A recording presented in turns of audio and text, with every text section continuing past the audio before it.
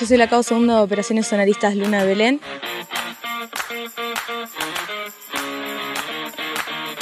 Me encuentro prestando servicios en la corbeta Robinson y me encuentro recién recibida del curso Capacitación Nadador de Rescate que dicta la Escuela de Técnicas y Tácticas Navales. Ser nadador de rescate es una gran responsabilidad, es un curso muy exigente, pero bueno, uno si se propone lo puede lograr y aparte nosotros estamos para eso, para servir a la Armada y es un granito de arena más que uno aporta. Una emoción muy grande porque fueron un gran apoyo toda mi familia y en todo momento, así mi familia como mis compañeros me ayudaron a seguir adelante porque unas veces cuesta, muy contento de, de haberlo podido lograr.